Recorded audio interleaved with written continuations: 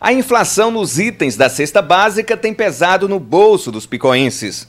No intervalo de 30 dias, o preço do arroz teve aumento de 42%, o óleo 53% e a carne, o leite e os seus derivados sofreram constantes altas nas últimas semanas. A gente está percebendo aí uma, uma, uma, certa dificuldade em relação ao mercado interno. Né? Isso leva a, a questões relacionadas à exportação e ao, ao, atendimento do mercado interno por parte da demanda. Certo? É, um dos fatores que pode afetar ou que está afetando essa questão da alta do arroz é a questão da demanda interna, ou seja, a, a, aumentou a demanda, né? um dos fatores a gente pode atribuir ao auxílio emergencial, as pessoas com mais dinheiro no bolso têm maiores possibilidades de consumir mais. Né? Para o economista James Brito, dois fatores influenciaram no aumento dos produtos indispensáveis na mesa do brasileiro: o aumento do consumo e a valorização do dólar perante o real.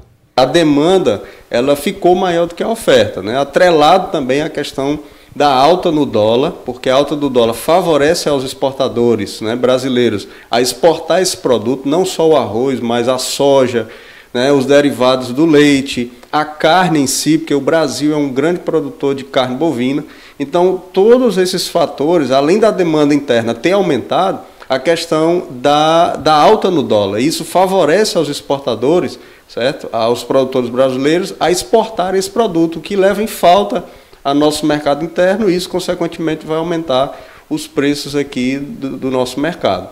O governo já tem até procurado né, fazer essa questão de, da importação, né, trazer de volta o produto de outros países produtores, especificamente do Mercosul, para estar trazendo essa, esse produto para o Brasil, para pelo menos equilibrar ou pelo menos manter esse preço até, o, o como alguns analistas colocam, a, ao início da próxima safra.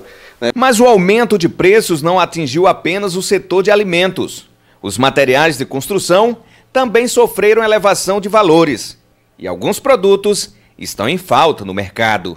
Quanto ao material de construção, isso já vem reflexo né, é, do desde o início da pandemia, quando os produtores, a, a, indústria em si, ela não conseguiu arcar com os custos relacionados aos seus funcionários. Né? Por mais que o governo tenha disponibilizado um plano, mas houve muitas demissões. Né? Com essas demissões, é, a gente percebe que a produção caiu. Caindo essa produção, logicamente há uma tendência para que esses preços aumentem. No entanto, não exclui a possibilidade de órgãos fiscalizadores né, é, verificar o andamento desses preços, a questão de preço abusivo, isso é fato, porque é, mesmo diante de uma crise de oferta e demanda, mas é necessário que os órgãos fiscalizadores a, a, observem essa questão desse aumento exacerbado. Isso é um problema para a economia.